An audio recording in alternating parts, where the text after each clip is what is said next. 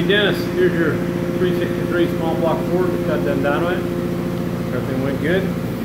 Uh, it's got the FAST system on it as you wanted. It's got your front end on it and everything. With the AFR cylinder heads. It's got your camshaft, oh the 303 We're kind of making missions over there. In, I think it's Switzerland it's going, so take you in and show you how it ran.